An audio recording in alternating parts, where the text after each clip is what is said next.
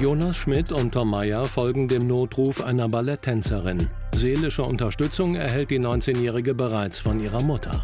Haben Sie den Rettungswagen schon gerufen? Oder? Ja, den habe ich auch schon gerufen. Ja, es ging darum, dass Sie mit irgendwas getroffen worden sind, richtig? Ja. Irgendwie, ich, ich war am Proben und dann fiel irgendwas von der Decke. Ja. Und ich habe mich nur kurz umgedreht und den Scheinwerfer gesehen und dann wurde es schwarz vor. Das ist ja hier ein Theater, ne? Glaube ich. Ja. Sie sind da, was, was machen Sie da? Äh, ich habe für unser Stück geprobt. Also ich, äh, wir machen ein Ballettstück und dafür habe ich geprobt. Ich habe die Hauptrolle. Okay. Und ja, dann ist... Scheinwerfer sagten Sie? Also Sie haben den Scheinwerfer gesehen und dann wurde schwarz vor Augen. Genau, ich habe ihn nur kurz gesehen, als ich mich umgedreht habe, weil ich hatte Angst und bin dann irgendwie aus Panik, habe ich mich, wollte ich mich retten und dann wurde schwarz vor Augen und dann habe ich es nur noch geschafft, hierher, um meine Mama anzurufen. Okay, das ist gut, dass Sie da sind. Dann würde ich auch Sie bitten, dass Sie jetzt hier bleiben erstmal. Wir würden uns dann nämlich mal weiter umschauen. Wie ist denn Ihr Name? Ähm, Sophie, Sophie Jung. Sophie Jung. Okay, Frau Jung. Ähm, ist denn da jetzt noch irgendjemand? Ich, ich habe keinen gesehen, da müsste nur meine Freundin Nora müsste noch da sein und Aha. unser Regisseur Matteo, der müsste eigentlich. Die haben sich um Sie jetzt gekümmert oder hat man Sie jetzt hier so alleine gelassen? Es scheint keiner das mitbekommen zu haben, was Aha. passiert ist. Okay. Ja gut, dann hoffen wir mal, dass wir die antreffen können, ja? Falls was ist, ja, machen Sie auf sich aufmerksam, okay? Zunächst wollen sich die Polizisten allerdings erst einmal einen Eindruck darüber verschaffen, ob sie es hier mit einem Unfall oder einem Anschlag zu tun haben. Guck mal, der ist ja gar nicht herausgebrochen, der ist Was denn? herausgeschraubt. Weil sonst wären ja noch ähm, irgendwelche Reste von dem Teil, an dem es gehangen ist, die Traverse oder was es ist, ne? Ja. Also da muss man schon irgendwas äh, unternommen haben, sagst du, oder was? Ja. Also vermute ich jetzt, also mein erster, Okay. meine erste Bewertung. Zumindest hat ja da jetzt erstmal keiner Zugriff drauf. Dann würde ich das nämlich später sicherstellen als Beweismittel. Wir sollten jetzt erstmal wissen, wo diese Regisseurin ist, beziehungsweise der Regisseur und diese Nora, ne? Ja, Requisite, genau. Ja, lass uns mal schauen. Haben Sie irgendwelche Probleme in der Vergangenheit mit irgendjemandem gehabt, der Ihnen irgendwie böse will? Moment mal, mir fällt da was ein, das habe ich, hab ich ganz vergessen in der Aufregung. Äh, Du hast doch diesen Drohbrief bekommen vor Das ist ein Drohbrief? äh, so ein, zwei Wochen. Ich habe ihn auch dabei. Ja, aber das, das du kennst das doch untereinander im Ballett. Wir sind Aber vielleicht hat das ja doch was damit zu tun. Sind Sie denn die einzige ähm, Tänzerin hier, beziehungsweise die jetzt hier so einen Auftritt probt? aktuell ja, also ich habe halt die Hauptrolle. Okay. Ähm, die einzige, die noch getanzt hat, aber aktuell jetzt nicht tanzt, ist Nora, meine beste Freundin. Ähm, die ist aber mit in der Requisite, also Ja, das ist ja die, genau, hatten Sie ja vorhin schon gesagt, ne? Genau. Diese Nora. Und die ist quasi, die ist nur für die Requisite zuständig? Ja. Weil wenn ich jetzt das hier so lese, du hast null Talent, du magersüchtiges Opfer. Du wirst noch dein blaues Wunder erleben. Ich sag mal so, das ist natürlich, ähm, das ist eindeutig, ne? Ja, Also da muss ja irgendjemand gegen sie irgendwas haben. Kannst du das denn, dir denn vorstellen, dass das Nora war? nein. Lass uns zu dieser Nora gehen, dann wissen wir mehr. Aber ich glaube wirklich nicht, dass sie was damit zu tun hat. Wir, wir tanzen zusammen, seitdem wir Kinder sind und sie ist seitdem auch schon immer meine beste Freundin gewesen. Ich glaube nicht, dass sie da... Sie ist auch Tänzerin? Genau, also sie, Also nicht nur Requisite, sondern Sie war Tänzerin. Ja. sie war Tänzerin. Sie Auch hatte... hier in dem Theater? Oder? Genau, also wir tanzen eigentlich schon seitdem wir Kinder sind hier. Und sie hat halt erst die Rolle und... Sie ähm, hatte die Rolle, habe ich das richtig verstanden? Genau, sie hatte Okay. die Rolle Oh. und ich habe sie übernommen. Okay. Ja, aber ich glaube, wie gesagt, nicht, dass sie irgendetwas Und warum hat sie diese Rolle nicht mehr? Ja, es war halt der, der Regisseur, oder? So Ja. hast du mir das erzählt. Also Matteo Um was ging es denn da? Also, wenn Sie sagen, sie hätte vorher diese, diese Tanzstelle quasi gehabt? Also es ist halt bei uns im Ballett, Matteo achtet sehr auf das Äußerliche und sehr auf das Gewicht. Und ja, Nora hatte für ihn halt ein bisschen zu viel Gewicht und er war damit unzufrieden und dann hat er mir die Rolle gegeben. Und deswegen ist Nora halt nicht mehr auf der Bühne, sondern hinter der Bühne. Wir sind alle verschieden ähm, und wichtig ist natürlich, äh, was in uns drin ist und nicht das Äußerliche. Es gibt äh, dicke, dünne, weiße, äh, schwarze Menschen, es gibt alles Mögliche. Ähm, wichtig ist wirklich der Charakter, was entscheidet über, über, über die Menschlichkeit an sich. Lass uns mal zu der Nora gucken. Ja. Wir gehen jetzt mal vorne hin und ähm, falls was ist, ne? schreien Sie bitte. Ja. Bislang ist die Requisiteurin die einzige, die ein schlüssiges Motiv für einen Racheakt hätte. Hallo? Nicht erschrecken. Guten Tag. Hallo. Ist Ihr Vorname Nora? Ja, Nora Flöring, hallo. Hallo. Sie, sind, äh, Sie arbeiten in der äh, Requisite. Ja, was ist passiert? Wir sind hergerufen worden, weil äh, die Frau Jung, der ist ein Scheinwerfer auf den Kopf ge gestürzt. Der Sophie? Ja, genau. Also wir gehen zunächst von keinem Unfall aus, also dass es mutwillig passiert ist. Also haben Sie da nichts von mitbekommen? Ja, das wäre jetzt so ich meine Frage Ich habe die gewesen. ganze Zeit Musik gehört und habe hier gearbeitet. Ich arbeite ja in der Requisite und muss hier noch einige Dinge gerade aufbauen. Ich habe gar nichts mitbekommen. Wer ist denn noch hier außer Ihnen? Wir Ja. hatten jetzt gehört, der Regisseur ist noch da. Genau, und also ich kann mir auch nicht vorstellen, dass irgendjemand was daran gemacht hat. Den einzigen, den ich das zutrauen würde, wäre halt Matteo. Weil der, ja, Matteo ist jetzt der Regisseur, der oder was? Regisseur, ja. Wir müssen ähm, vielleicht noch was erwähnen. Also wir haben jetzt gerade erfahren, dass Sie jetzt wohl nicht mehr tanzen Nee.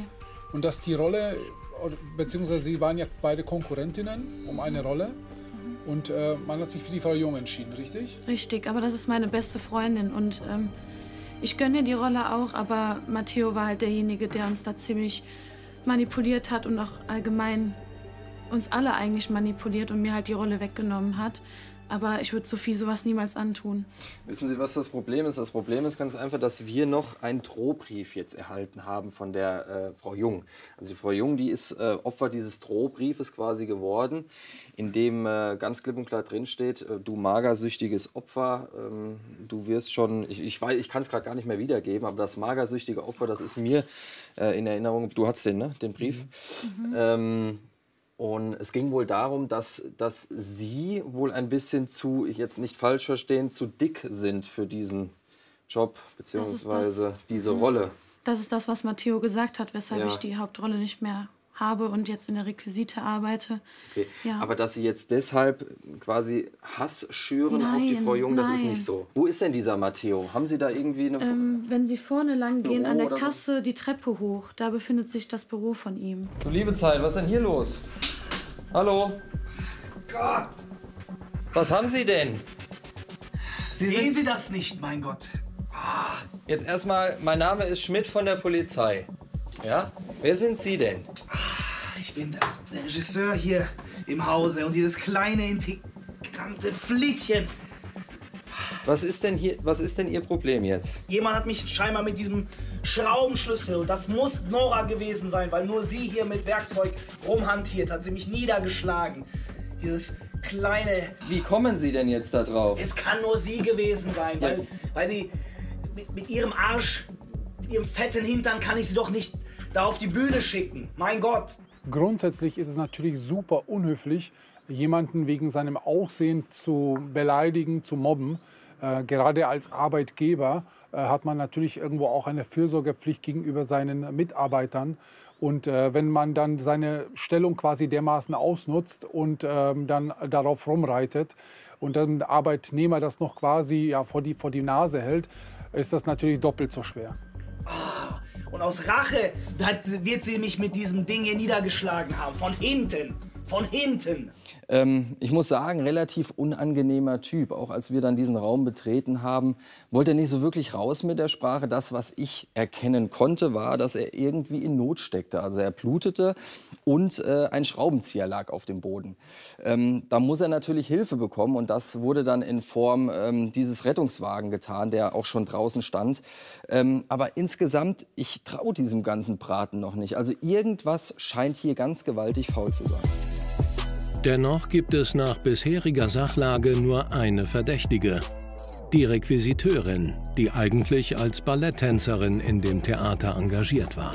Was ist denn jetzt? Ja. Toll. Hey, siehst du das unten? Was Siehst denn? das? Warte mal, warte mal. Was warte denn? Mal. Was denn? Hier unten.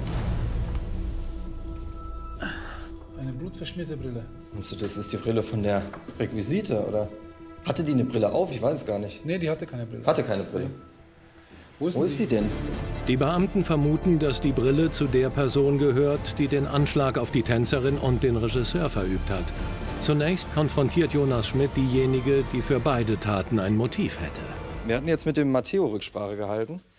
Ähm, und der lag oben in seinem Büro, wo Sie ja gesagt hatten, dass er sich aufhält, ähm, ja, niedergeschlagen. Er sagte, dass er niedergeschlagen worden sei mit einem Schraubenzieher. Der Schraubenzieher, der liegt auch noch oben. Er befindet sich jetzt gerade in Behandlung.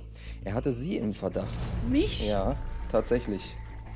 Also, ich war die ganze Zeit in meinem Zimmer und habe weiter an den Tischen rumgeschraubt. Wissen Sie, was Sie in Ihrem äh, Die, Büro gefunden haben? die kenne ich doch irgendwoher. Ich kenne die auch. Woher kennen Sie sie? Wer hat die nochmal? Irgend, Ja. Irgendjemand. Also die lag unmittelbar vor ihrem Büro. Auf Ja, aber sie gehört, sie gehört nicht mir. Nora? Ist das, ist das nicht die Brille von deinem Papa? Was war das denn? Was war das denn? Gehst du da rum? Hey, hier ist jemand! Hier ist jemand! Hey, stehen bleiben! Stehen bleiben! Hey! Stehen bleiben! Stehen bleiben! Stehen bleiben! Stehen bleiben! Wer sind Sie? War auf Toilette. Wer sind Sie? Konkrete Frage, wer sind Sie? Ich bin der Vater von der Nora und ich sollte hier, äh, ich wollte sie mal zugucken, wie sie, wie sie ihr Ballett tanzt. Von der Nora sind Sie der Vater. Zufällig auch der Besitzer dieser Brille? Weiß ich jetzt. Lass uns mal runtergehen. Das ist Ihr Vater. Das, er wollte gerade ganz schnell diesen Raum wieder verlassen, beziehungsweise diese Örtlichkeit. Was haben Sie in der Tasche eigentlich? Wollte, Sagen Sie mal her. Eine Sturmhaube. Also ich glaube, jetzt sind Sie uns eine Erklärung schuldig, oder? Papa, sag's doch einfach. Nora, Das bringt doch nichts. Was sagen? Ja, was du getan hast, was du hier machst, was soll das? ja. Okay, ich war, ich war, ich war hier, ich wollte meiner Tochter helfen. Der tolle Regisseur hat sie ja abgesetzt von, von, von ihrer Hauptrolle und äh, da habe ich mir gedacht, jetzt musst du da mal eingreifen. Und was haben Sie dann gemacht? Haben Sie sowohl den Regisseur als auch die Frau Jung verletzt? Kann das sein? Wenn sie nicht mehr da ist, dann wird meine Tochter wieder eingesetzt. Das Henrik, war weißt doch was da hätte klar. passieren können? Meine Tochter hätte tot sein können. War doch nur, das soll doch nur, nur Also jetzt nochmal ganz konkret, nochmal ganz konkret. Ich habe den Matteo oder wir haben den Matteo gerade in seinem Büro aufgefunden. Attackiert von einem Schraubenschlüssel. Waren Sie das? Er hat es doch auch verdient, oder nicht? Gut, dann waren Sie das und waren Sie auch derjenige, der der Frau Jung diesen Scheinwerfer letzten Endes dann auf den Kopf äh, nicht geschlagen hat, aber zumindest diesen Scheinwerfer aus der Verankerung gelöst hat. Ich musste doch was tun, dass meine Tochter wieder in die Hauptrolle bekommt. Das war doch das Wichtigste für mich. Da. Indem Sie die Konkurrenz ausschalten. Okay, Wenn sie das, krank ist, dann Das werden wir jetzt hier nicht, vor allem äh, nicht klären können. Sie kommen, mal- wir begleiten uns auf jeden Fall mit auf die Wache. Ich kündige uns schon mal an. Ja, meine persönliche Meinung zu dem Herrn hier ist, natürlich liebt jedes, jeder Vater seine Kinder. Aber man kann es auch wirklich übertreiben. Und äh, aus meiner Sicht hat er der Mann hier eindeutig mehr als übertrieben. Nicht nur, dass er die Frau schwer verletzt hat, er hätte sie auch töten können. Äh, zumal er auch eine Vorbildfunktion für seine Tochter irgendwo hat. Und ich glaube, der, der ist äh, hier überhaupt nicht gerecht geworden. Der 45-Jährige hat sich der gefährlichen Körperverletzung in zwei Fällen strafbar gemacht und wird sich dafür vor Gericht verantworten müssen.